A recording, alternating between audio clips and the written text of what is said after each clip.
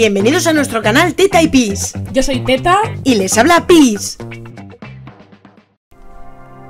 Hola, hola chavalería y bienvenidos a nuestro canal dedicado a gameplays, análisis, juegos baratos y gratuitos.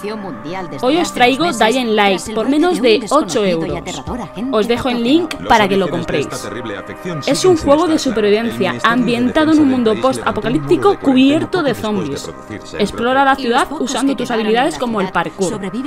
Busca suministros, fabrica armas y enfréntate a hordas de no muertos. pretende seguir ayudando a las personas atrapadas en la zona de cuarentena de Harran hasta que hayan desarrollado una cura. El Ministerio de Defensa cree que hay que adoptar medidas más radicales para detener la oleada de este virus. Y la pregunta es, ¿quedan supervivientes no infectados en la ciudad, como asegura el SAI? Y si los hay, ¿proseguirá el Ministerio con su plan de aniquilación de la ciudad con el fin de erradicar el virus de Harran de una vez por todas? Una cosa está clara. Bien sea por el virus o por las acciones del Ministerio, los días de Harran están contados.